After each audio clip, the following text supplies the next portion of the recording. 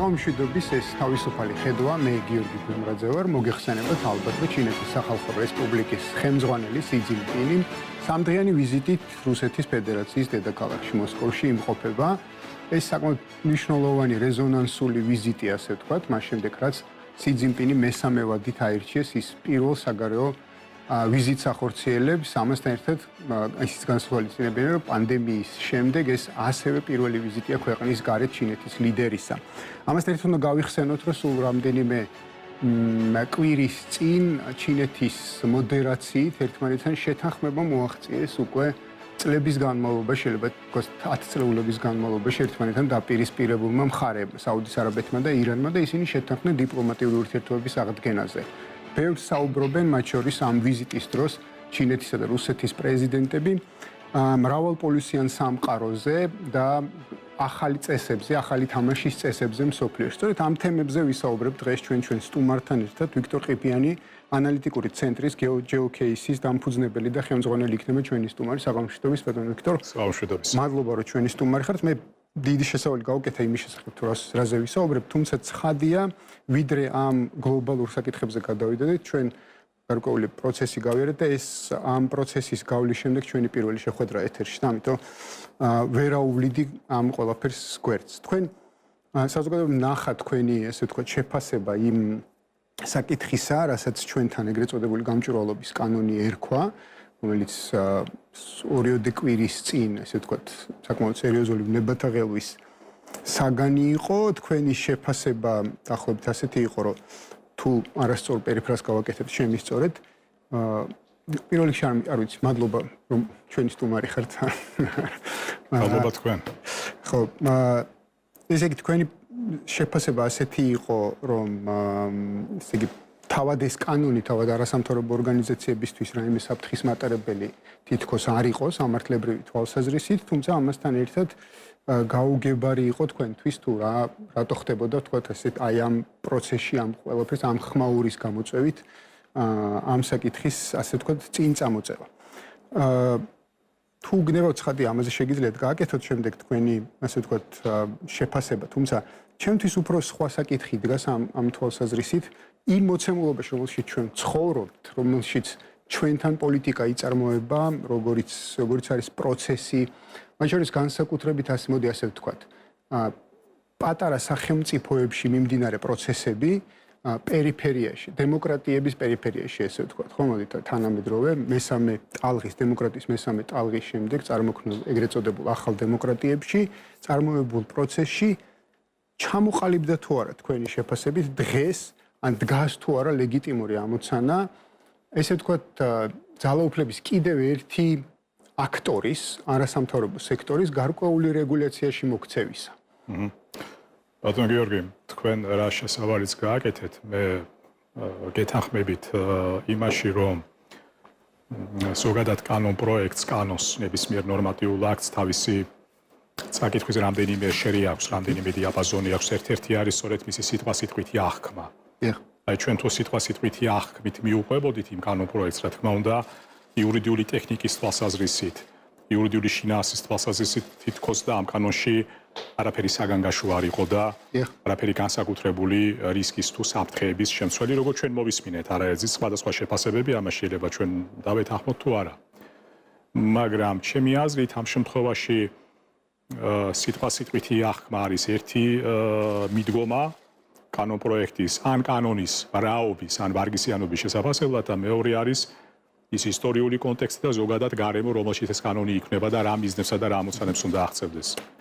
აა დიახ მე გავაკეთე თავისოზე შეფასება რომ მე ჩავთვალე რომ და არა მხოლოდ მე მე არ ვიყავი მცირესობაში ამ ხრივ რომ ამ ხრივ ინტერპრეტაციის კუთხით კონტექსტის კონტექსტუალური დანიშნულების აღქმის კუთხით რა თქმა უნდა აქ სასურველი იყო რომ უკეთესი განმარტება მოხდარიყო რატომ ეხლა მანდამაიც მით უმეტეს იმ პროცესის ფონზე რასაც აა კანდიდატის სტატუსის მიღება ქვია და ჩვენ თითქოს და გქონდა იმის მზაობა ყოველ შემთხვევაში განწყობა და მოლოდინი რომ ამ კანონ პროექტის დაძვრამის ინიციაცია გარკვეულწილად იმ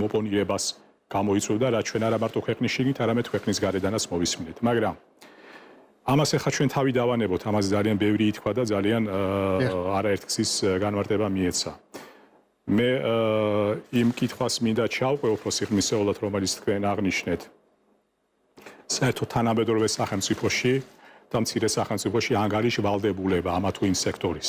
მოდით ამაზე ვიმშევთ ჩვენ ერთად და ეხლა ჩვენ როდესაც საუბარი არის თანამედროვე სამყაროში სხვადასხვა რისკებზე და საფრთხეებზე ნორმალური სახელმწიფო ბუნებრივად ზრუნავს რომ გარკვეული დამცავი ზღუდეები აღმართოს რომ რისკები და საფრთხეები ეროვნული საფრთხეები იყოს გარკვეულწილად მინიმიზირებული. ეხლა ჩვენ სხვადასხვა თემებში შეიძლება წავიდეთ, ჩვენ არაერთი სხვათა შორის ჩვენ გადაცემაში ვისაუბრია რომ სხვადასხვა რანგის ეკონომიკური კრიზისების შემდეგ სახელმწიფო მოbrunდა ეკონომიკაში, მან ჩათვალა რომ ეკონომიკური პროცესები არ შეიძლება იყოს მხოლოდ თვითრეგულირების ანუ თვითონ საბაზრო ეკონომიკის მონაწილეთა შეხედულება ისამებრ. მიტოვებული, ამიტომ სახელმწიფოს ინტერვენცია ჭკვიანი კანონმდებლობის კუთხით, სწორი დაბალანსების კუთხით აუცილებელი არის, ეს ერთი და აუცილებელი გარემოება. ჩვენ სხვათა შორის თვითონ ასეთ ანგარიშვალდებულების კომპონენტს საკუთრივ კორპორაციებში ხედავთ ახლა ცოტა პარალელი რო გავალდოთ, ოდესაც აქციონერები, ან აქციონერთა კრება კორპორაციებზე საუბრობთ, ირჩევს მართლთა საბჭოს. შესაბამისად ეს მართველი საბჭო შემდეგ ვალდებული არის აქციონერთა წინაშე. აქედან გამომდინარე, თითქოს და ყველა შრეში ამა თუ იმ წარმატებით ანგარიშვალდებულების, არჩევითობის, ანგარიშვალდებულების წესი მეტნაკლებად გამოკვეთილი არის.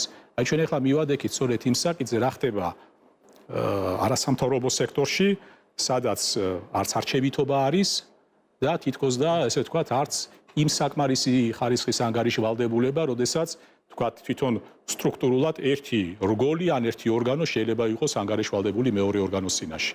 ალბათ ამან გამოიწვია ყველაფერთან ერთად, ეხლა ჩვენ რო შევხედოთ მედლის მეორე მხრიდან, ვთქვათ, როდესაც საუბარი იყო რისკების მინიმიზაციაზე ან რისკების მართვაზე, მოდით ესე ვთქვათ, ხო? ვითომეტეს დღევანდელ სამყაროში, ამ მეტად რთულ გეოპოლიტიკურ ვითარებაში, როგორ შეიძლება მავნე გავლენებისგან აა დამატებითი დაცვითი ზღუდის აღმართვაზე და ალბათ აქ მოხდა სწორედ მე მინდა უბრალოდ თქვენთან ერთად ახსნა რომ ალბათ განზრახვა სწორედ ამაში მდგომარეობდა რომ ეს სექტორი რომელიც მოძლიერდა რომლის ხმა ძალიან წონადი გახდა ქვეყნის საზოგადო და პოლიტიკურ პროცესებში რამენაირად მე არ ვამბობ კონტროლ ქვეშ მაგრამ რამენაირად უფრო მეტი პროგნოზირებადობის ქვეშ მოქცეულიყო მაგრამ ვიმეორებ რომ ალბათ ამ ხრივ ახსნა განმარტება ამ ხრივ ამ ხრივ კონტექსტუალურმა აცდენამ შეიძლება მოიკოჭლა. აქედან გამომდინარე ჩვენ რა თქმა უნდა ასე შეგვიძლია ეს მედლის ორივე მხარე მოვნიშნოთ ალბათ ყველაზე უკეთესი მიდგომა ამ საკითხისადმი იქნებოდა მეტი ინკლუზიურობა ამ კანონ პროექტის არა მარტო შემუშავების პროცესში არამედ საკუთრივ იდეის გაჩენის ეტაპიდან.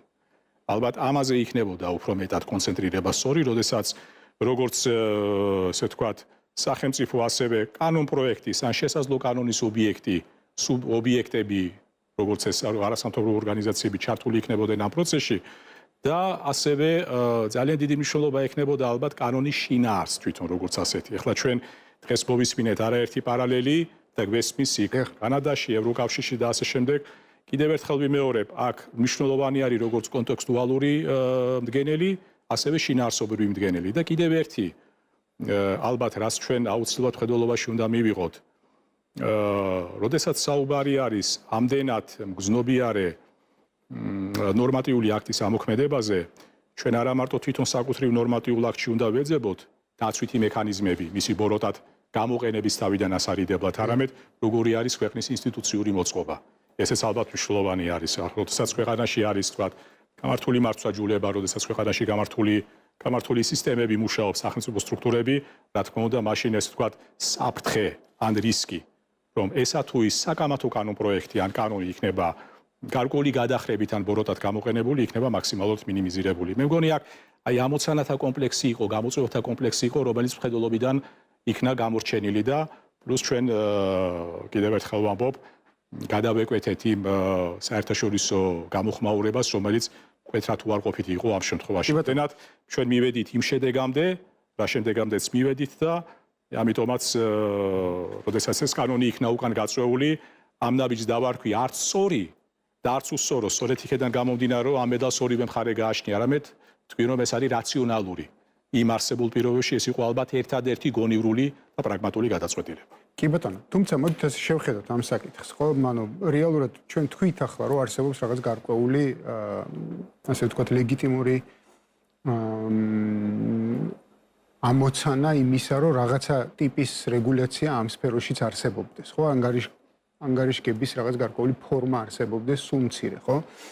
აა მაგრამ საბოლოო ჯამში ჩვენ მივიღეთ ერთი რამ, რაც შესაძლოა ერთის მხრივ მიუხედავად იმისა, თქვა, როგორ შევაფასებთ მართველი პარტიის ამ გადაწყვეტილებას მიიღებასთან და გაწევასთან დაკავშირებით. აა ამის მიუხედავად თითქოს ეს ლეგიტიმური ამოცანა რაღაცა დროით მაინც გადავალდა. ყოველ შემთხვევაში მე მე განცდა მაქვს, რომ ჩვენ ამ კანონის მიღება მომავალში მაინც მოგვიწევს, იმიტომ რომ თუ ევროკავშირში მიიღებენ, შემდეგ უკვე თავსებადობის ამოცანა დადგება, რომ ჩვენი კანონმდებლობა მათ კანონმდებლობასთან თავსებადი გახდეს, ხო? როგორც ევროკავშირისკენ მსწრაფველი სახელმწიფოსი, ხო? მაგრამ იმ იმ იმ პერსპექტივას ამწუთას თავი დავანებოთ. ამწუთას ამოცანა ასეთია და თქვენ შეფასებები ახსენეთ საერთაშორისო პარტნიორების შეფასებები ამ საკითხთან დაკავშირებით, რომელიც საკმაოდ მკაცრი იყო, ხო?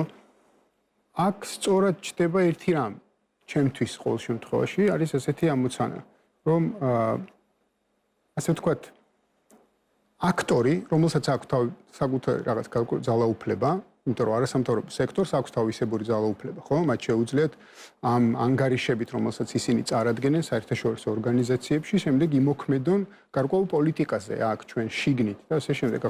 შეუძლებელია ამასე აა ესე ვთქვათ არ აღნიშნა ეს მათი ძალაუფლება, ასე ვთქვათ. თუმცა მათი ძალაუფლება არ არის კონტროლირებული შიგნით, არ არის ლეგიტიმირებული შიგნით საზოგადოების მხრიდან, მათ არანაირი ლეგიტიმაცია საზოგადოების მხრიდან არ აქვს, მეტიც თუ კვლევებს ნახავთ, არსებობს საკმაოდ დაბალი ნდობა არასამთავრობო სექტორის მიმართ მათივე კვლევებში, ხო, NDI-ის კვლევები, ARA-ის კვლევები, ძველი კვლევები ბოლო პერიოდში აღარ კითხულობენ ხოლმე ამ ამ ნაწილს იმ იმდენად იმდენად არასახარბიელოა ესე რომ ვთქვათ ეს ნაწილი.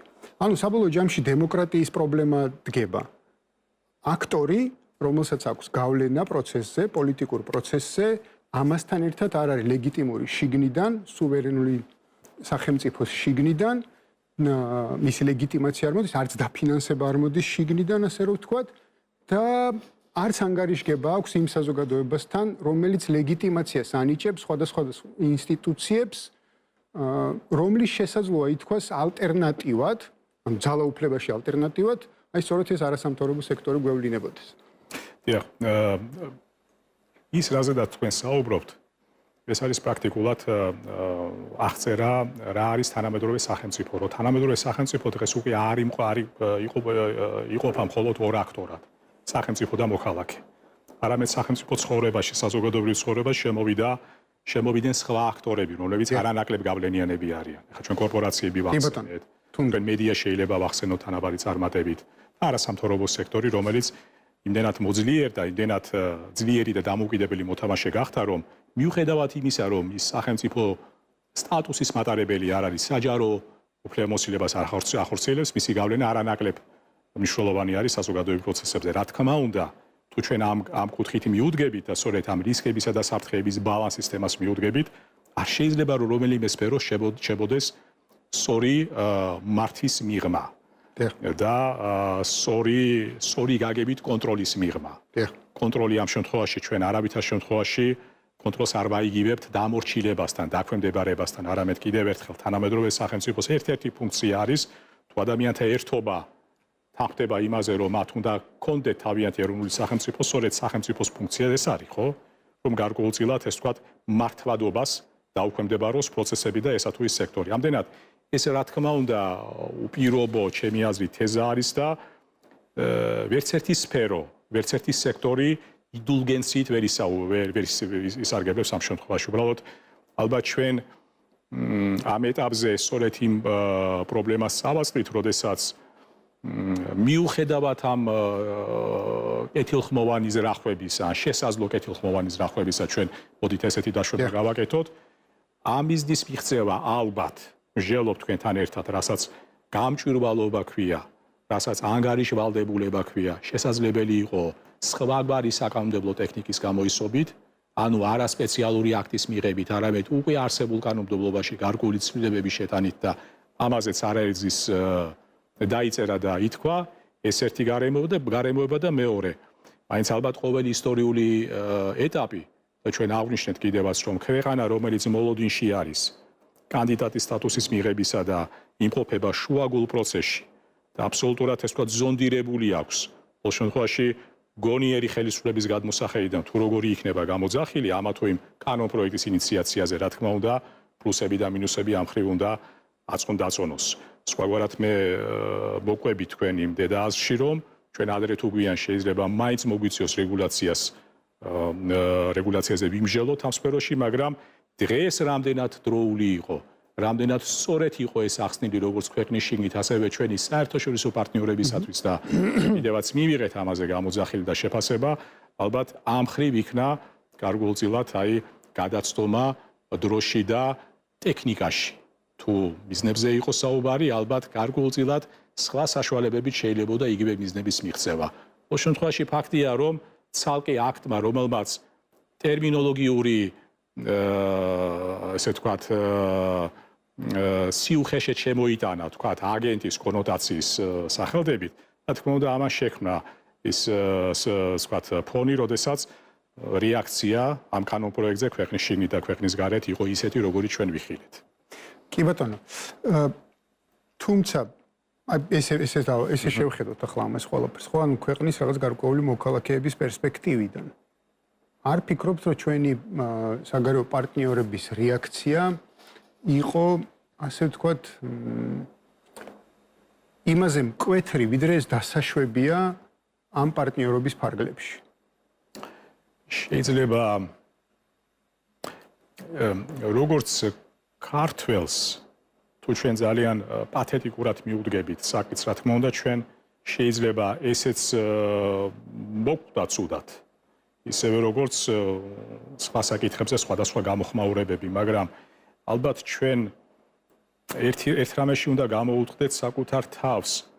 როდესაც ჩვენ ვართ გარკვეული ტესტის ჩაბარების პროცესში, მიუხედავად იმისა, რომ სამართლებრივად თანაბარ პირობებში ვართ სხვა შესაძლო კანდიდატ ქვეყნებთან ან დანარჩენ, ესე ვთქვათ, პარტნიორებთან, მაინც მოთხოვნა ჩვენს მიმართ და ამ მოთხოვნის ვერ ან შესრულებაზე რეაქცია შეიძლება იყოს იმაზე მწვავე, ვიდრე ნორმალურ პირობებში შეიძლება ეს წარმოიდგინო. ისიც პრობლემას რამდენად ამდენად ამდენად აი ერთი არის რომ აა საკანონმდებლო ტექნიკის კუთხით გარკვეული მოთხოვნების შესრულება, მაგრამ ჩვენ ალბათ მოლოდინში უნდა ვიყოთ, რომ ჩვენი შეფასება ხშირ შემთხვევაში მხოლოდ შინაარსობრივი მხარით, მხოლოდ ტექნიკური შინაარსის, საკანონმდებლო შინაარსით არ შემოიფარგლება და იმაზე მეტი იქნება. ჩვენ ესეც შეგვიძლია ვთქვათ, რომ ალბათ ასეთი რეაქცია შეიძლება ზოგმა თქვას გაცილებით უფრო დაუსაბუთებელი ბაღალი სტანდარტით განპირობებული არის, მაგრამ ეს არის რეალობა, ეს არის ის რეალობა, რომელიც ჩვენ ზოგადად სამყაროში მივიღეთ და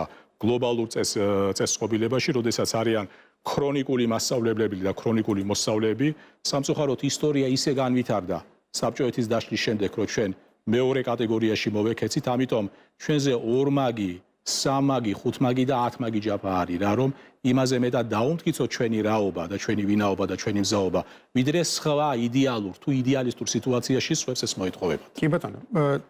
აი სწორედ ეს ეს ელემენტი არის ამ შემთხვევაში საყურადღებო გარკვეული თვალსაზრისით, იმიტომ რომ ერთ-ერთი ყველაზე ესეთი ესე ვთქვათ სახამუშო ელემენტი ამ ყველაფერში იყო ალბათ ის რომ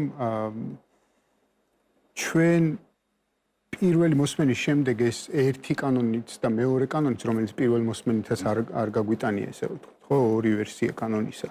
გადავაგზავნეთ ვენეციის კომისიაში ხო? ან ყოველ შემთხვევაში ესე ესე იყო გაგზავნილი მართველი პარტიის მხრიდან.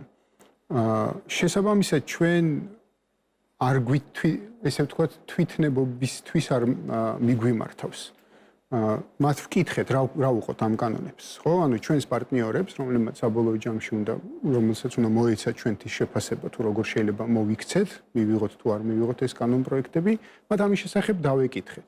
თუმცა მიუხედავად ამისა გარკვეულ თვალსაზრისით რაც დემოკრატიისთვის ასევე სერიოზულ პრობლემას წარმოადგენს იყო შეფასებები და რაც სამწუხაროა ჩვენი პარტნიორების მხრიდან ალბათ რომ არც კი უნდა განგვეხილა ეს კანონი, არც კი უნდა დაგვეწყო ამაზე მსჯელობა, თითქოს ასეთი ასეთი მითითებები იყო, რაც აი მართლა არ ვიცი დემოკრატიაში რამდენი შეიძლება ჩაჯდეს, რამე არ განიხილო და ისე არ გააკეთო ან გააკეთო, ხო? ანუ რაღაც განხილვის პროცესი არა წარმოი. ჩვენ რეალურად გვაქვს ესეთი ფაქტი, მაგალითად წინა ესე ვთქვათ, წინა ხელისუფლების დროს კონსტიტუციაში განხორციელებული ერთი ცვლილება, რომელიც გადასახადების გაზრდას ზღუდავს, რაც რეალურად გამორიცხავს პარლამენტში გადასახადების თემაზე დისკუსიას, ხო? ანუ შეუძლებელია პარლამენტმა იმსჯელოს მაგალითად ფისკალურ პოლიტიკაზე. ეს ძალიან საინტერესო ფენომენია თავისთავად, ხო? ანუ რაღაც ესეთი შეზღუდვები ჩვენ შიგნით, რომ დემოკრატიული პროცესი არსებობდეს, განხილვის პროცესი არსებობდეს, აზრთა სხვადასხვაობის პროცესი არსებობდეს, ჯანსაღი, ეს თითქოს შეზღუდულია შიდა ნორმატიული აქტები იქნება ეს თუ გარედან მომართული დირექტივებით. არის თქვენს მსჯელობაში, რა თქმა უნდა, გარკვეული საფუძვლიანი ცხენის ელემენტი. ეს რა თქმა უნდა, ბადებს ერთგვარად უსამართლობის ერთგვარად უსამართლობის განცდას. რატომ იმ თავითვე შეიძლება ამა თუ იმ თემა მიიღო შეფასება, როდესაც თემა ჯერ კიდევ არ დასრულებულა, ან ყოველ შემთხვევაში იმ ეტაპამდე არ მისულა, როდესაც მეტნაკლებად გამოკვეთილი შეფასების აა სასამართლო გადაწყვეტილებებზე შეგვიძლია იგივე თქვა. აქ ჩვენ შეგვიძლია კიდევ მეორე საკითხის ვახსენოთ თუ ასე ჩავშალეთ და ძალიან ისე პირუტნულად მიუყვებით ამ თემის ანალიზს, რომ თვითონ ქვეყნის შიგნით აი ქართული პოლიტიკური ფაქტორების დამოკიდებულება საკითხებისადმი, ხო იგივე ეფექტის ბოლოდინში, იგივე შედეგის ბოლოდინში უნდა ყოფილიყვნენ თქვათ ისინიც, რომლებიც ოპონირებას უწევდნენ ამ კანონ პროექტს. ოდესაც ვენეციის კომისია შეიძლება მათვალში ძალიან საიმედო ფილტრი ყოფილიყო, რომ ეთქვა, რომ ეს კანონ პროექტი არ არის ევროპული სტანდარტების ესე ვთქვათ, ღირსი და შესაბამისად ალბათ, ალბათ კი არა, მაღალი ალბათობით საქართველოს პარლამენტიც შესაძლოა იმოქმედებდა, მაგრამ ეს უკვე ჩვენ ამას იმ უსიამოვნო რეალობამდე მივყევარ, მივყავართ, როდესაც ესა თუ ის ინიციატივა ნაცვლად მსჯელობისა ნაცვლად იმისა, რომ ის ყველა მხრივ შეფასებული იქნეს, ძალაუნებურად თუ გამიზნულად იქცევა ინსტრუმენტად ძალაუფლებისათვის, ძალაუფლებისათვის ბრძოლისათვის. აი ფაქტიურად ჩვენ იგივე შედეგი მივიღეთ, როდესაც თითქოს და თემა დაიძრა, დაიძრა სწორი მიმართულებით, როდესაც გადაიგზავნა ვენეციის კომისიაში შეფასებების მისაღებად. შეფასების ვენეციის კომისია ალბათ თავის ავტორიტეტულ დასკვნას გამოიტანდა, მაგრამ არა, ჩვენ არ გვეყო მოთმინება, ჩვენ არ გვეყო სიმწიფე, ჩვენ არ გვეყო ერთმანეთის საკუთარი ქვეყნისადმი ურთიერთპატივისცემა შეიძლება ასეც დავაფორმულიროთ რომ საკმარისი ესე ვთქვათ სინციფე აღმოგვეჩინა საკუთარ თავში და მოთმინება რომ დავლოდებოდით იმ ევროპულ ინსტიტუტს რომლის წიაღშიც პოლიტიკურ მოქცევასაც ქვეყანას ჩვენ ვუქადით. ამდენად აი ეს ცოტა ეს ვთქვათ წინამდებობაში მოვიდა ალბათ პოლიტიკური აქტორების დამოკიდებულება რომ ერთის მხრივ აპროტესტებდა იმას რომ გარკვეული აქცია, გარკვეული ქმედება, გარკვეული კანონპროექტი არ პასუხობს ევროპულ მოლოდინებს და ამავე დროს არ დაელოდო ავტორიტეტულ ევროპულ ინსტიტუტს რომ მისგან მიიღო საბოლოო ვერდიქტი ეს ასია თუ სხვაგვარად არის. ალბათ. აი აქ ჩვენ ძალიან ბევრი ჩვენთვის არც თუ უსიამოვნო წინააღმდეგობა შეიძლება ვიპოვოთ. ერთი თქვენ აღნიშნეთ საგარეო ფრონტზე და მეორე ჩვენ შეიძლება კიდევ ერთხელ გულის ტკივილით აღნიშნოთ ჩვენ საშინაო პოლიტიკურ ცხოვრებაში. კი ბატონო. მოდით გადავიდეთ ამ ჩვენს ძირითად თემაზე, იმიტომ რომ მინდა რომ ის თემა უფრო ისე სვათ მიმოვიხილოთ, ასე ვთქვათ, ხო? ჩვენ და რაღაც თვალსაზრისით თქვენი ერთი სტატიის ფარგლებში რომ ვიტრიალოთ ეს არჩევანთა მრავალფეროვნებასთან დაკავშირებით იყო ამას წინა თქვენი სტატია გამოქვეყნებული. აა სიძინპინის ვიზიტი მოსკოვში. რომელიც ალბათ ამ საერთაშორისო მედიის ერთ-ერთი და არ მხოლოდ მედიის, არამედ რაღაც ეს ანალიტიკური წრეების ერთ-ერთი ასე ვთქვათ, ყველაზე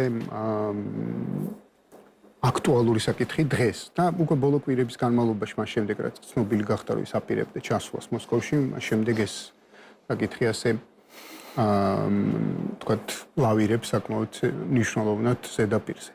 აა როგორ ფიქრობთ ამდენად ასე ვთქვათ, ხარი შეიძლება იყოს რუსეთისა და ჩინეთის დაახლოება აი ამ მოცემულობაში, რომელშიც ჩვენ ვართ. ეხეს არის პირველი ვიზიტი ჩინეთის ლიდერის ამას შემდეგ, რაც უკრაინაში ომი დაიწყო, ამიტომ განსაკუთრებული ყურადღება არის მიკრობილი ამ ვიზიტის შედეგებისადმი, ვიზიტი რომელიც ჯერ არ დასრულებულა. აა მაგრამ ერთი რამ ფაქტი არის თქვენ აი აბსოლუტურად სწორედ აღნიშნეთ ამ კავშირების სიმყარე ჩვენ გვახსოვს ორი ქვეყნის დეკლარაცია რომელიც საუბრობდა პარტნიორობაზე საზღვრებს გარეშე მაგრამ რეალურად ამ პარტნიორობას თავისი საზღვრები გააჩნია და ეს საზღვრები არის როგორც სტრატეგიული ასევე ტაქტიკური. აა ის ყველაზე მთავარი შემკვრელი რაც ამ ორ ქვეყანას დღეს აერთიანებს ეს არის საერთო მტრის ხატი ეს არის პრაქტიკულად ანტიდასავლური სენტიმენტები, პოლიტიკა, ანტიამერიკანიზმი, რომელიც არის ამ ორი ქვეყნის ინტერესთა გამართიანებელი. თუმცა ეს უფრო ეს ვთქვათ, სტრატეგიულ დონეზე, შედარებით უფრო მომცრო დონეზე ეს არის ორი ლიდერის განსაკუთრებული პიროვნული სიახლოვე, მაგრამ ეხლა ეს რამდენად საკმარისი არის პოლიტიკაში, ეს რა თქმა უნდა ცალკე განჯის საგანი არის, მაგრამ ფაქტი ერთი რამ არის, რომ მიუხედავად ამ მოჩვენებითი პარტნიორობისა, მე მაინც მეჩვენება, რომ ეს არის აი როგორც იტყვიან, მმ, ასე ტაქტიკური ხასიათის გეოპოლიტიკური ერთობა და ქორწინება. ეს ტაქტიკური თანხwebdriver ალბათ აიხსნება შემდეგი მოცემულობით. პირველი რომ დღეს რუსეთის სახელმწიფოსათვის, რომელიც ეკონომიკურ იზოლაციაში არის მოქცეული, ჩინეთი რეალურად წარმოადგენს ეკონომიკურად მაშველ რგოლს. ეს მაშველი რგოლი მუშაობს რუსული და ჩინური გადმოსახედიდან საკმაოდ ეფექტიანად, როდესაც ჩინეთი მთელი რიგი მიმართულებებით გახდა რუსეთისათვის რუსული ეკონომიკისათვის ძალიან სხვა სასიცოცხლო მნიშვნელოვანი დახმარებისა თუ ხელშეწყობის აღმოჩენი. ეს არის როგორც ნავთობის შესყიდვა, მართალია დისკონტირებული ფასით, მაგრამ ჩინეთი იმ ქვეყნების რაოდენობას განეკუთვნება, რომელმაც უარი თქვა ეგრეთ წოდებული კეპირებული ფასით რუსული ნავთობის შესყიდვაზე და რა თქმა უნდა ამ შემთხვევაში რუსეთისთვის ეს იყო ერთობ გასაღების ბაზარი, მიუხედავად იმისა, რომ ფასი დისკონტირებული არის, ის რომ საყოფაცხოვრებო პროდუქტების კუთხით, პროდუქციის კუთხით ჩინეთი იქცა ერთ-ერთ თავარ მიმწოდებლად. ელექტრონიკის თვალსაზრისით, ნახევრად ნახევრად გამტარების კუთხით მიუხედავად იმისა, რომ ჩინეთს არა აქვს დღეს თანამედროვე ტექნოლოგია, მაგრამ იზოლაციაში მოქცეული რუსეთის პირობებში ესეც ერთგვარი, თქვათ, შვება იქცა და ასევე, თქვათ, მეოთხე მიმართულება, სადაც ჩინეთი ძალიან აქტიურად ეხმარება რუსეთს, ეს არის ორმაგი დანიშნულების საქონელი, ორმაგი დანიშნულების პროდუქცია, რასაც რუსეთი იყენებს, რასაც ისი გამოყენებაც რუსეთს შეუძლია როგორც სამოქალაქო დანიშნულებით, ასევე სამხედრო დანიშნულებით. ეს იმ პირობებში, როდესაც ჩინეთს პირდაპირ არ განუცხადებია ჯერჯერობით სამხედრო დახმარების შესახებ. მაგრამ ეს არის ყველაფერი ეს თქვათ ის თანხwebdriver რომელიც ზედაპირზე დევს და რომელიც გარკვეული პერიოდი ამერთობას ამუშავებს. ეხლა რა შეიძლება იყოს განსხვავებები?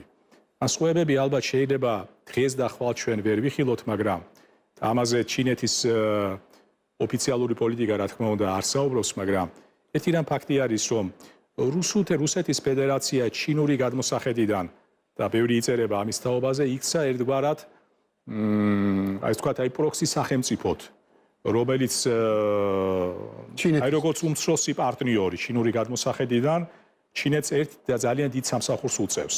ფაქტიურად უკრაინაში განვითარებული განხორციელებული ომით რუსეთმა მიიჯაჭვა ამერიკული სამხედრო მანქანა და დასავლური სამხედრო რესურსები და შესაბამისად ამერიკის შეერთებულ შტატებს პირველ რიგში ძალიან ნაკლები ყურადღება რჩება ჩინეთისადმი, ტაივანისადმი და ზოგადად იმ რეგიონისადმი. ამიტომ ალბათ ესეთი პარტნიორობა, რომელიც ასე ტაქტიკურ სარგებლიანობაზე არის დაფუძნებული, შეიძლება ამან დიდხანს ვერ გასტანოს და ამას საკუთარი თავი საბოლოო ჯამში იჩინოს. გარდა მაგისა არის მთელი რიგი რეგიონები, მაგალითად ცენტრალური აზია, სადაც ამ ორი ქვეყნის ინტერესი ადამიანს ერთმანეთთან თანხვედრივ არის. და შესაბამისად ამანაც შეიძლება ერთგვარი აი წყაროს ფუნქცია ერთგვარი ეს ვთქვათ მაპროვოცირებელი მიზეზის როლი შეასრულოს. ეს ყველაფერი არის ალბათ ის საკითხები, რაც უკვე რუსეთის გადმოსახედიდან აუცილებლად ხედულობაში არის მისაღები, იმიტომ რომ ეხლა ჩინეთის პოლიტიკა საერთოდ ეხლა მე ასე დავახასიათებდი ძალიან მოკლედ. მიუხედავად ზედაპირზე არსებული ჩინური ზაობისა, რომ მაქსიმალურ გამწვავებაზე წავიდეს იგივე ამერიკის შეერთებულ შტატებთან, მათაც გარკვეული ზღვარი აქვს, გარკვეული ლიმიტი აქვს. და იცით ალბათ პეკინი ეცდება, რომ არც რუსეთთან გაუმჯობესოს იმაზე მეტად ურთიერთობა, ვიდრე ეს დასაშვები არის ჩინური ინტერესიდან გამომდინარე. და არც ამერიკასთან გააუარესოს და აქაც ახლა როცა ამერიკაზე ვსაუბრობთ, აქ რამდენიმე გარემოება უნდა მივიღოთ და დასავლურ გარემოსთან დაკავშირებით რამდენიმე გარემოება უნდა მივიღოთ ხედველობაში. მე არ რჩება წარმოქმნა რომ ჩინეთი ცდილობს არსებული საერთაშორისო წესრიგის საბოლოოდ მოშლას. ფაქტია რომ ჩინეთი ცდილობს გადაწეროს გარკვეული წესები, მაგრამ აქ მოშლაზე საუბარი არის უფრო მეტიც. ჩინური პოლიტიკა ბოლო ხანებში ძალიან აქტიურად არის მომიმართული უკვე არსებული სტრუქტურებში, უკვე არსებულ სტრუქტურებში ინფილტრაციაზე. აი მაგალითად ჩვენ თუ გადავხედავთ საერთაშორისო ორგანიზაციებს, ორგანიზაციებში ამა თუ იმ ეს თქვა ვაკანსიების, მაღალი თანამდებობის, მაღალი რანგის ვაკანსიების დაკავებას, ჩინეთის წარგზავნილები უფრო ხშირად ფიგურირებენ, ყოველ შემთხვევაში ეს ბოლო პერიოდი ჭარბად ფიგურირებენ. ესეც ერთგვარად აი ამ საერთაშორისო წესებისა და ინსტიტუტების საკუთარ თავზე მორგების საშუალება არის. გარდა მაგისა, მიუხედავად აი ცნობილი ტერმინისა decoupling არა განცალკევება ამერიკული და ჩინური ეკონომიკის ესე დღეს პრაქტიკულად შეუძლებელი ხდება, იმიტომ რომ ეს ორი ეკონომიკა ძალიან შეზრდილი არის ერთი მეორეში. პრაქტიკულად ჩვენ აქ იმდენად ეს ვთქვათ ორ идеოლოგიურ თავსებადობაზე კი არ ვსაუბრობთ, არამედ ორი ეკონომიკური ინტერესის თავსებადობაზე ვსაუბრობთ. აქედან გამომდინარე ჩინეთი ძალიან ფრთხილი იქნება, ისევ როგორც ამერიკის შეერთებული შტატები, რომ აა მოერიდოს საბოლოო ეს ვთქვათ ჩახსნას, იმიტომ რომ ეს ჩახსნა იქნება სწორედ ის მათრახი, რომელიც როგორც ერთ მხარეს დააზიანებს, ასევე მეორე მხარეს. და კიდევ ერთი საკითხი ალბათ რა ჩვენ მხედველობაში მხედველობიდან არ უნდა გამოვტოვოთ. ეს არის ფინანსურ ნაკადებში ამერიკული დოლარის მნიშვნელოვანი როლი. ეს არ არის მხოლოდ ფინანსური ინსტრუმენტი არამედ ეს არის გეოპოლიტიკური ინსტრუმენტი. მანამ სანამ ჩინეთი მინიმუმ დარწმუნებული არ იქნება რომ საკუთარ საგადახდელო სისტემას შექმნის ალბათ ამ ფაქტორის უგდება მისთვის ძალიან რთული იქნება და კიდევ ერთი გარემოება და ბარემ რო დავასრულო ჩემი პასუხი პარალელურად ამერიკის შეერთებულ შტატებთან ჩინეთი ძალიან საინტერესო პოლიტიკას ატარებს ევროკავშირთან. აი ამერიკასთან არის დეკლარირებული თითქოს და კონფრონტაციული კურსი, მაგრამ ევროკავშირთან არის საკმაოდ ეს თქვა ფრთხილი მიდგომა და საფრანგეთთან, გერმანიასთან არსებული სავაჭრო ურთიერთობები და ამ სავაჭრო ურთიერთობების ხარისხის ზრდა, სწორედ ასეთი ეს თქვა აი ერთგვარ ჩინულ ბალანსირებაზე საუბრობს მეტყველებს, როდესაც აი სამწეროვანი პოლიტიკა ჩინური რუსეთთან მიმართებაში, ამერიკის შეერთებულ შტატებთან მიმართებაში და ევროკავშირთან მიმართებაში, აი თავისებურ მიდგომაში იქნება გამოხატული. ამიტომ ერთი სიტყვით მე არ ამგონია რომ ამ თვალსაზრისით ჩვენ რაღაც რადიკალური ნაბიჯების მოწმენი გავხდებით ჩინეთის მხრიდან. ჩინეთი იმოქმედებს იმ ზომით, და იმ დასაშვებობით რამდენადაც ის მისთვის მისაღები იქნება, მაგრამ საერთო წესრიგის დაზიანებას არ მოახდენს. შეიძლება ვიფიქროთ, რომ ჩინეთის ეს სამშვიდობო ინიციატივა, მაგალითად, რუსეთ-უკრაინის ომის მოწესრიგების ნაწილში, ისევე როგორც თავის მხრივა ეს ასე ვთქვათ ირანისა და საუდის არაბეთის ასე ვთქვათ შეთანხმება ჩინეთის მოდერაციაზე და დიპლომატიური ურთიერთობების აღდგენაზე თანხმობა ორი ორი სახელმწიფოს მხრიდან, რომელსაც საკმაოდ დიდი ხანია უკვე საკმაოდ დაძაბული ურთიერთობა აქვს ერთმანეთთან, ხო? აა რომ შეიძლება ვიფიქროთ ვარა რომ ჩინეთის მთავარი ინტერესი ამ შვიდობის მოდერაციაში სწორედ ის ეკონომიკური ინტერესია, სწორედ ის ეკონომიკური შედეგია. მათ შორის თუ გავითვალისწინებთ შიგნით ჩინეთის შიგნით მიმდინარე პროცესს, რომელიც არც თუ ისე სახარბიელო, როგორც ბოლო დეკადების განმავლობაში იყო, ხო, ეკონომიკური თვალსაზრისით. ანუ ამასთან ერთად აი ეს რაღაცა ვთქვათ, კონფლიქტები, რომლებიც აი ამ გზებზე ეგრეთ წოდებულ ერთი სარტყელი ერთი გზის ნაწილში წარმოიშვა, ხო? მაგალითად, ერთ-ერთი ყველაზე მომგებიანი გზა მართლაც რუსეთზე გადიოდა, ჩინეთისთვის, ევროპისთვის პროდუქციის მისაწოდებლად, ხო? ყველაზე იაფი და ყველაზე მოხერხებული საშუალება იყო, ასე ვთქვათ, და აქ რაღაცა პრობლემა გაჩნდა. იგივე ავიღოთ მაგალითად ცენტრალურ ახლო აღმოსავლეთში კონფლიქტები სერიოზულ პრობლემას წარმოადგენს აფრიკის კონტინენტამდე მისაღწევად, ხო?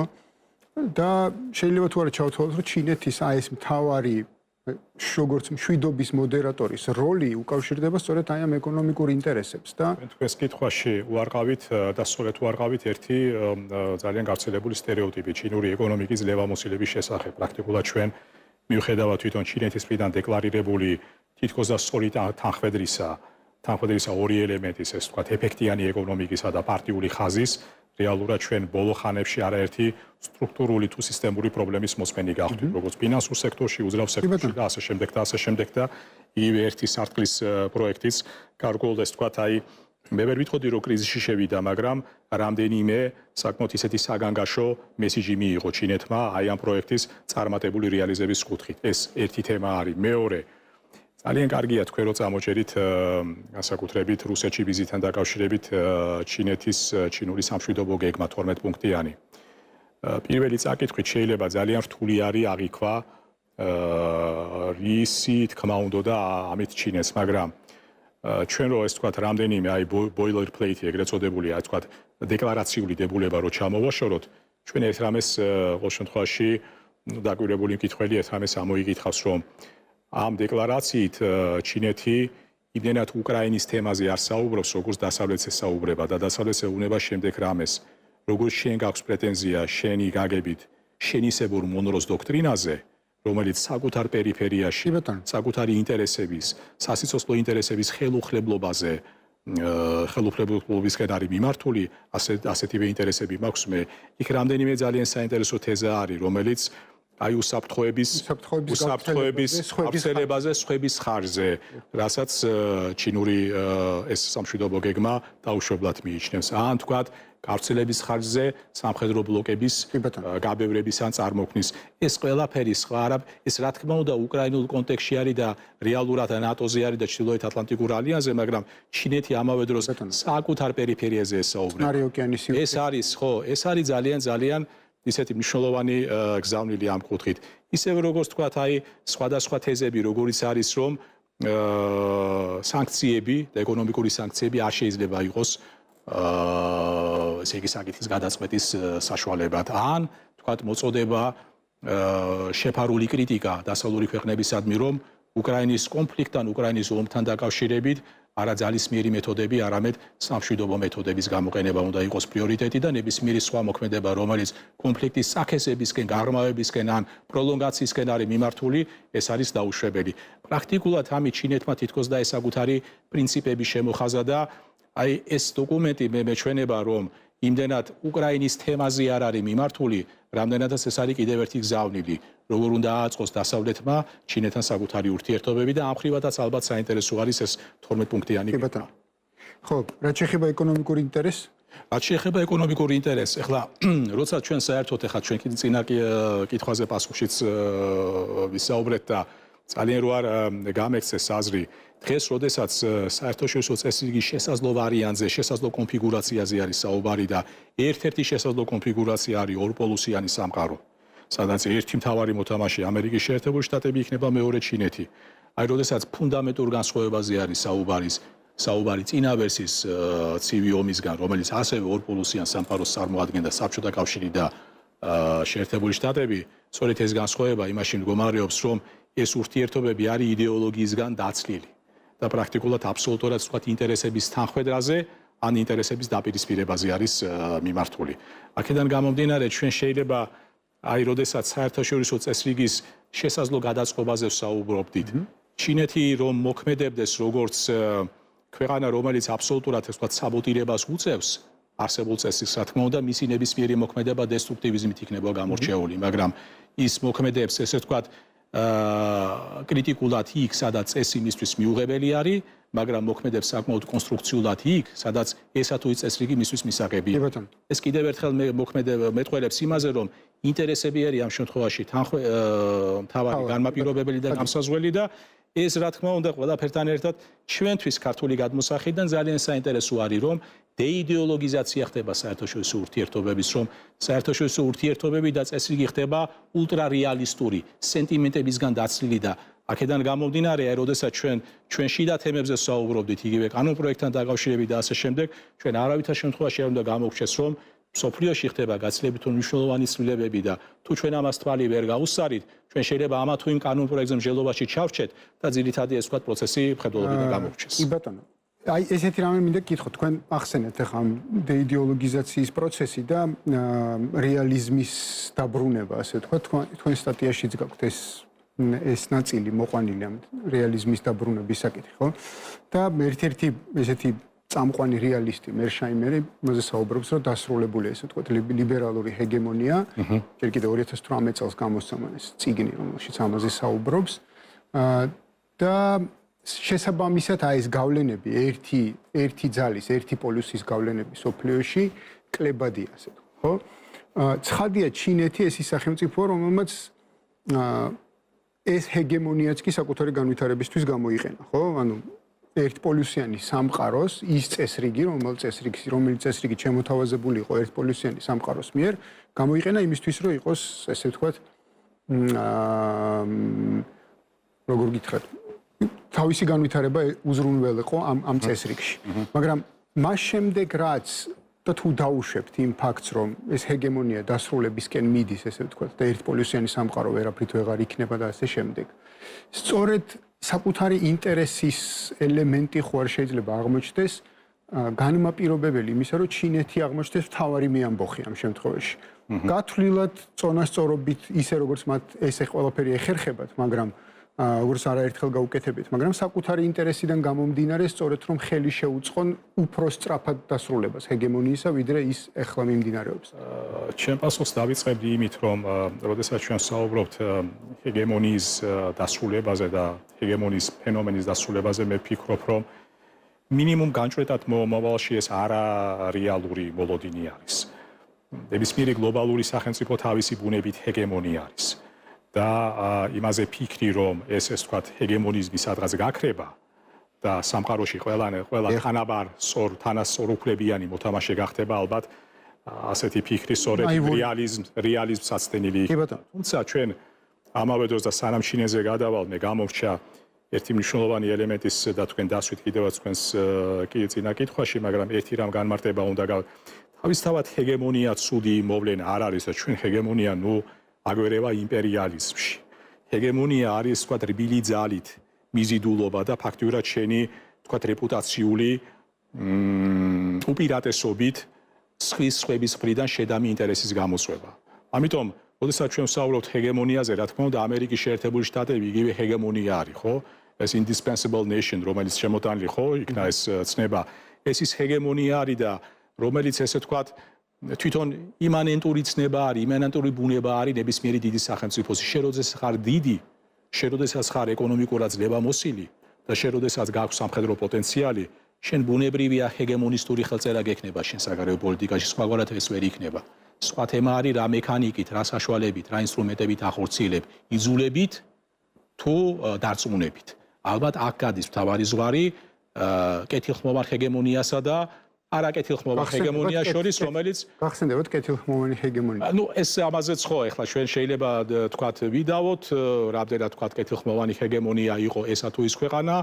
მეორე მსოფლიო ომის შემდეგ ჩვენ ეს თქვათ ფარული თუ არაფარული ინტერვენციების არაერთ არაერთი შემთხვევა შეიძლება გავიხსენოთ. ორივე ორივე ორივე მოთამაშის მხრიდან როგორც საბჭოთა კავშირის მხრიდან ასევე ამერიკის შეერთებული შტატების მხრიდან ეხლა ჩინეთის თემა რო განვარცხოთ ჩვენ და ერთი რამ რამ რაც გამომრჩა, აი თქვენ როცა მედიაციაზე საუბრობდით, ა უკრაინის დოკუმენტთან დაკავშირებით, კიდევ ერთი გზავნილი, რაც მნიშვნელოვანი არის და მას სხვათა შორის თავიჩინა საუდელებისა და ირანელების ირანელებს შორის მედიაციაში, რომელიც დიპლომატიური ურთიერთობების აღდგენაში გამოიხატა, ეს არის სწორედ ეს ვთქვათ ჩინეთის აბსოლუტურად ახლებური პოზიციონირება, რომ ის არის მშვიდობის ყოფილი, მას შეუძლია ეს ვთქვათ ჰარმონიის შეტანა საერთაშორისო ურთიერთობებში, ის სწორედ ცდილობს ყოველ შემთხვევაში ამ ნაბიჯების გამოისობით, რომ ის მორალური ავტორიტეტის მანტია მოირგოს, ეხლა რამდენად წარმატებული იქნება, რამდენად წარუმატებელი, რამდენად სრული ან არასრულფასოვანი ეს სხვა საკითხი არის, მაგრამ ამ ცდელობებში აი ეს მაგალითი, რომელიც თქვენ ახლო აღმოსავლეთთან მიმართებაში გაიხსენეთ და სხვათა შორის ახლო აღმოსავლეთში ჩინური როლის გაზრდას გარკვეულწილად შეუწყო ამერიკის შეერთებული შტატების ინტერესების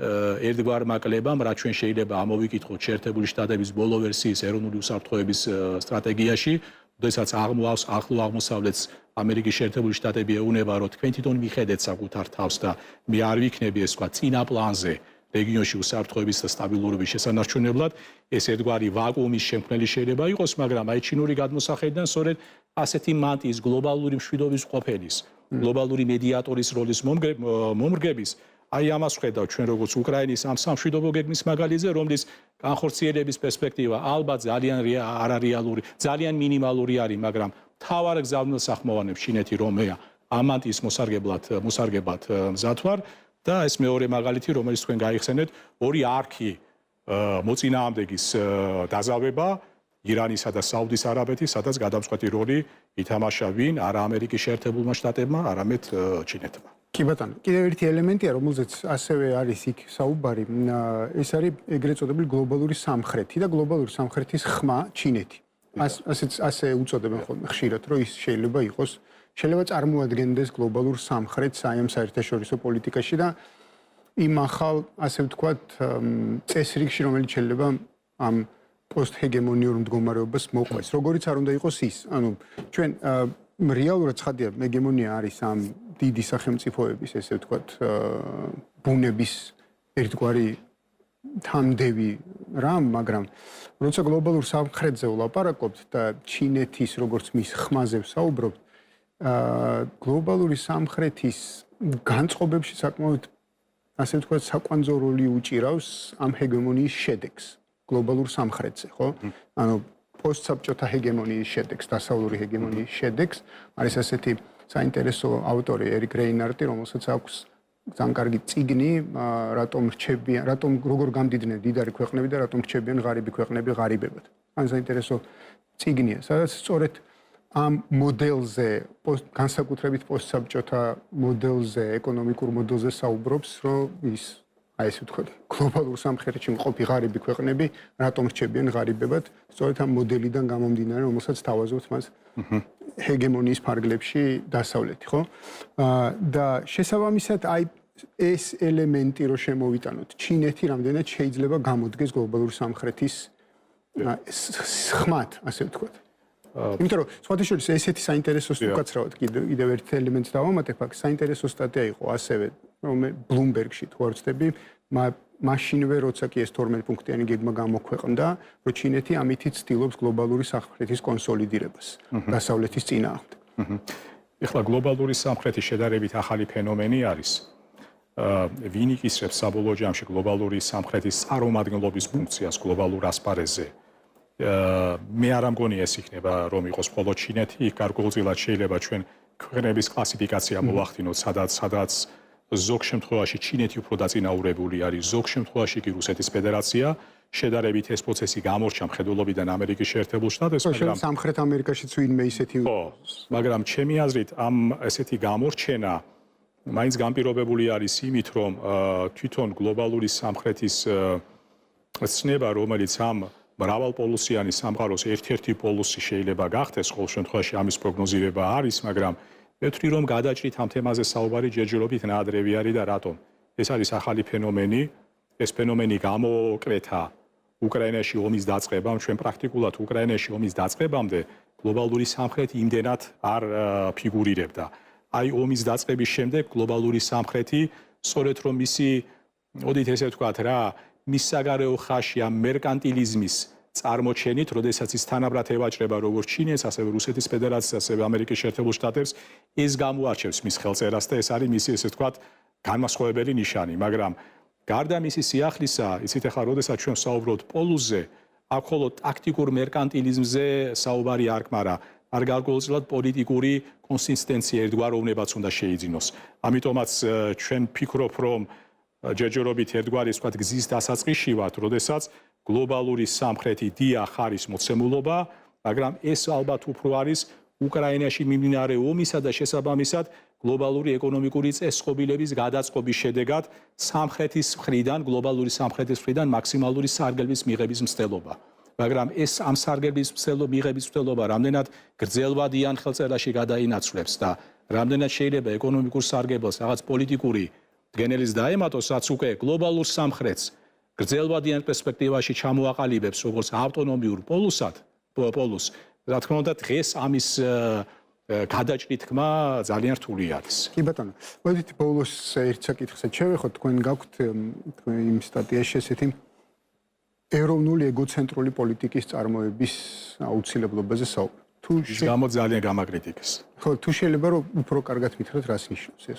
აი, სწორედ რამდენიმე თეზა რომელსაც მე არა მარტო ამ სტატიაში ვიმეორებ, არამედ ზოგადად რომ რეალიზმი საგარეო პოლიტიკაში ვალდებულებების ურთიერთშემხედრი ვალდებულებების გადაკვეთა და არა მარტო ურთიერთშემხედრი ვალდებულებების, არამედ ურთიერთინტერესების ძალის ფაქტორის უფრო მეტად ეს თქვა ზედაპირზე ამოსვლა საერთაშორისო ურთიერთობებში. ეკონომიკური თვითკმარობის ფუნქცია რაც ასევე უკავშირდება უსაფრთხოებას უფრო ფართო გაგებით. აი სწორედ ამან განაპირობა თქვათ ის ერთი თეზა, რომელსაც მე ხშირად ვიყენებ, ქართულ საგარეო პოლიტიკაში შეიძლება ჩვენ კონდეს ესა თუ ის კონსტიტუციური ჩანაწერი, ესა თუ ის პოლიტიკურად დეკლარირებული კურსი, მაგრამ საბოლოო ჯამში ნებისმიერი კურსის, ნებისმიერი დეკლარაციის გამსაზრდელი შეიძლება იყოს უკეთესი უსაფრთხოება და უკეთესი ეკონომიკა.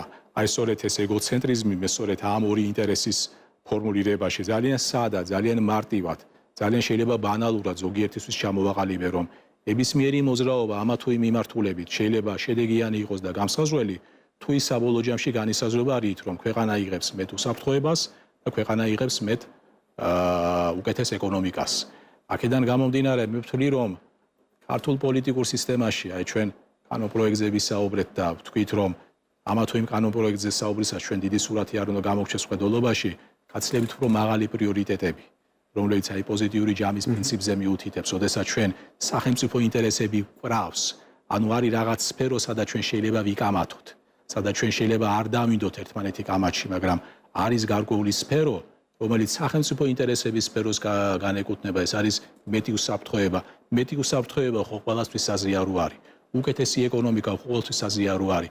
აი ეს სფერო არის, სადაც ალბათ ერთიანად აი ეგოცენტრიზმი, სადაც ჩვენ კიდევ შეგვიძლია ვივაჭროთ, კიდევ შეგვიძლია ლავირებას მივყვეთ ხელი, კიდევ შეიძლება ბალანსირებასაც და სადაც აი კიდევ ერთხელ აი სადღირძელოებისგან დაცლილი პოლიტიკა, აი ეს ვთქვათ მაღალ ფარდოვანი პოლიტიკა რაც შეიძლება უფრო მეტად ტექნოკრატიული და კონექტურული უნდა გახდეს. იქ სადაც დიდი ქვეყნები არ ერიდებიან დღეს აშკარად და ღიად საკუთარი ინტერესების გამო ვაჭრობას, ჩვენ სადაც ეს შესაძლებელი იქნება, ბუნებრივია ჩვენი რესურსი, ბევრად შეზღუდული არის ჩვენი დიაპაზონი, ბევრად მომცროარი, მაგრამ სადაც კი ამის საშუალება იქნება, ჩვენ ამას არ უნდა მოვერიდოთ. სწორედ ამას უწოდე მე ეგოცენტრიზმი, რომელიც ამ ორ პრინციპში გამოიყენება. ბატონო ნახეთ, ერთი ერთი კითხვა მოქვს ასეთი, რომ შესაძლოა ჩვენ შინაგანად კონდეს რაღაცა დარწმუნება და რწმენა იმისა, რომ ჩვენ ჩვენი ერთადერთი არჩევანია რაღაც. არ ვიცი, სადღაც რაღაც მისწრაფება, რაღაც სადღაც ასვლა და ასე შემდეგ. მაგრამ თქვენ ახსენეთ ძალიან საინტერესო რამე, რომ ვივაჭროთ რაღაც თქვა ჩვენი ინტერესებიდან გამომდინარე სადღაც ხდეს ვივაჭროთ. მაგრამ როგორ შეიძლება ივაჭროს ქვეყანა საკუთარი ინტერესებზე, საკუთარი ინტერესების სასარგებლოდ, რომელიც თავად უარყოფს, პროფესორი თავად აცხადებს, რომ მას არ აქვს არანაირი ალტერნატივა სხვა. თქვენ გულისხმობთ საგარეო ალტერნატივებზე. კი ბატონო. ალბათ. აი უყურეთ ნახეთ არა მხოლოდ საგარეო ალტერნატივაზეა, ხო? უალტერნატივოა საგარეო არჩევანი. უალტერნატივოა თავისუფალი ბაზარი, რომელსაც რომელსაც ჩვენ თითქოს ასე იმაშობთ, ხო? უალტერნატივო არ ვიცი, შიგნით რაღაცა მოწყობის სისტემები და ასე შემდეგ. ანუ ყოველ შემთხვევაში ჩვენ ასე ვსაუბრობთ ამ თემებზე. ჩვენს პოლიტიკას ახასიათებს ასეთი ტიპის საუბარი, ხო? ანუ ან რო რაღაცა მოცემულობები გამختარია, როგორც უალტერნატივო მოცემულობები. ხა მაგალითად იგივე თავისუფალი ვაჭრობის, თავისუფალი საბაზრო ეკონომიკის არჩევის უალტერნატივო დასახვა აი თუნდაც ამ ეროვნული ეგოცენტრიზმის პერსპექტივიდან რამდენად შეიძლება იყოს ცით ჩვენ რა თქმა უნდა დეკლარირებული გვაქვს და სწორად დეკლარირებული გვაქვს ჩვენი ცივილიზაციური არჩევანის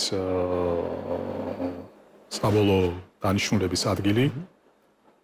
ეს არის ევროპული ერთობა ეს არის პოლიტიკური ევროპა. მაგრამ ალბათ სხვადასხვა ფორმულები რომლებიც ჩვენი უკეთესი და მეტი უსაფრთხოებისათვის შეიძლება ჩვენ გამოვიყენოთ ამაზე ჩვენ არაერთის გვისაუბრია და დამიწერია კიდევაც ეს შეიძლება იყოს სხვადასხვა კონფიგურაციის სამხედრო ალიანსები ან თავდაცვითი კავშირები. ეს შეიძლება იყოს განჯისაგან.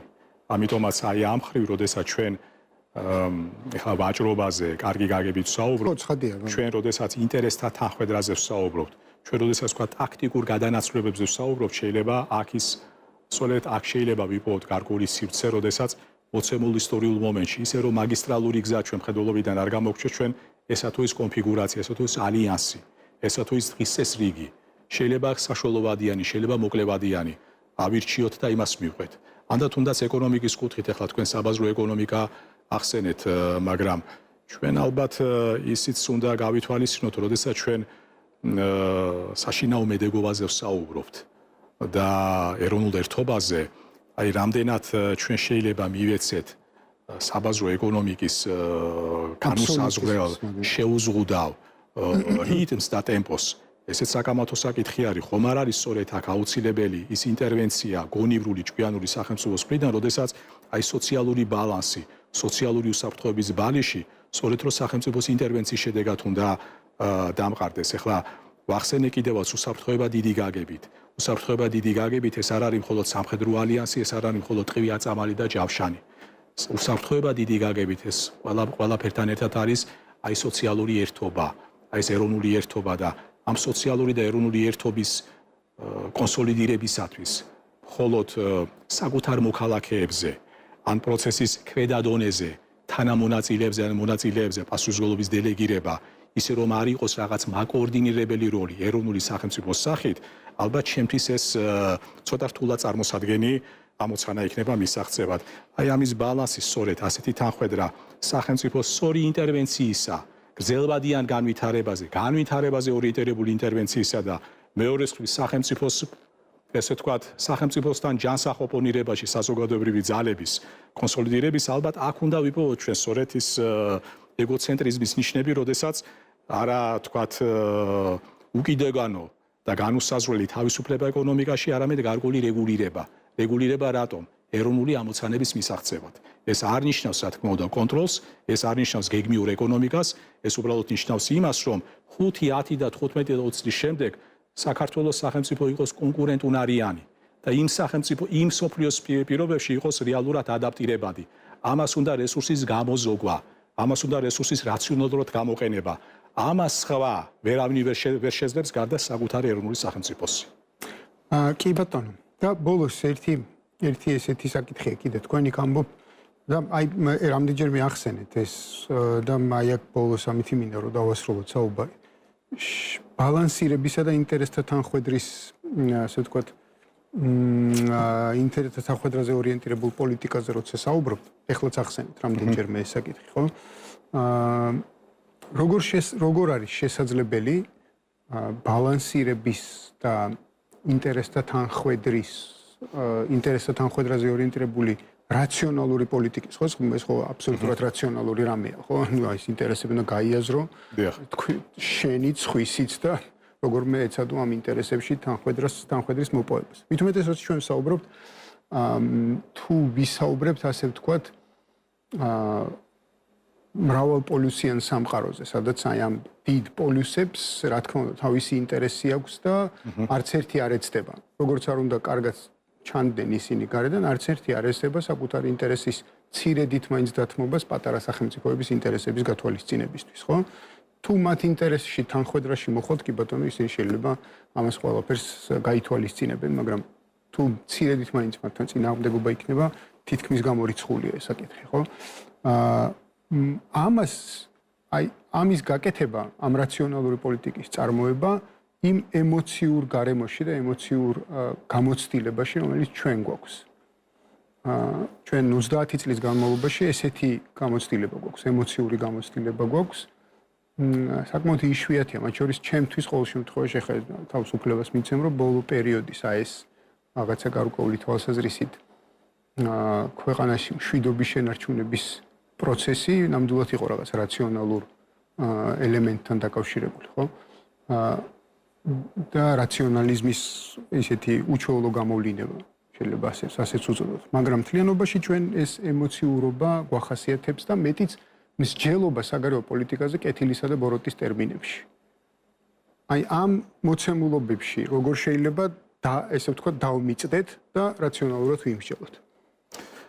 თქვენ იმ ნაკლზე ახსენეთ ქართული პოლიტიკის და არა მარტო საგარეო ჭრილში, რომელიც სამწუხაროდ თუ მე ხლა სწორედ გაგიგეთ და შემისწორეთ თუ არა, უფრო სტატიკაზე არის ორიენტირებული და ნაკლებად არის განვითარებაზე ორიენტირებული. ყოველ შემთხვევაში ნაკლებად ითვალისწინებს პროცესს, რომელიც ჩვენს გარშემო მიდია. ყოველ შემთხვევაში მე ასე მეჩვენება, ამიტომ აა, შესაძ მე ერთ-ერთ ერთ-ერთი ვთქვი, რომ აა ქართული საშინაო პოლიტიკა ძალიან ეს ვთქვათ, აი კონცენტრირებული გახდა მოცემულ დღის წესრიგზე, რომელიც აი ამ ძალაუფლების საკითხს უკავშირდება და ის გადადინებას ერთი მხრიდან მეორე მხარეს თუ ასე შემდეგ ალბათ ეს არის ის რაც ჩვენს